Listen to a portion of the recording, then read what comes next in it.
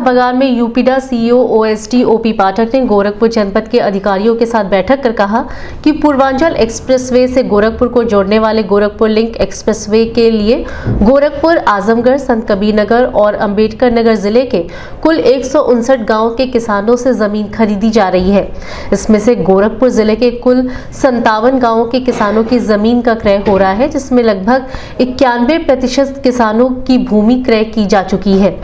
बैठक में प्रमुख रूप से एडीएम वित्त राजेश कुमार सिंह एसएलओ त्रिवेणी प्रसाद वर्मा एसडीएम खजनी विपिन कुमार नायब तहसीलदार सिकरीगंज सुमित कुमार सिंह सहित अन्य संबंधित अधिकारी मौजूद रहे कौन से किसान हैं जिनका सोशल इम्पैक्ट असेसमेंट करना है तो हमारा जो समय है उनके लिए शायद साठ दिन का समय साठ सिक्सटी था ना सिक्सटी सिक्स ज़ीरो की बात कर रहे हैं तो वो जिससे रुकावट न रहे आगे बढ़ जाए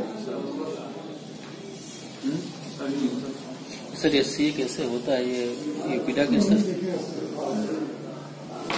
वालों को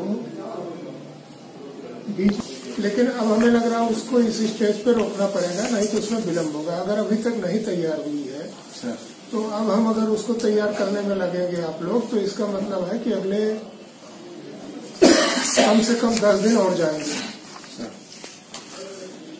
तो सबसे साइड कट ये है वर्मा जी तीनों तहसीलों का वो क्षेत्रफल जो कि क्रय से अवशेष है। मना लीजिए। कोई भी कट ऑफ़ डेट रखते हुए आज की कट ऑफ़ डेट रख लीजिए। अब तो इकतीस बारह बीत गई और दूसरी डायरेक्टर गिरी को एक पत्र भिजवा दीजिए डीएम साहब की तरफ़ से कि हमारे यहाँ इतने क्षेत्रफल इसके जिसको क्रय से अवशेष है। इसका सामाजिक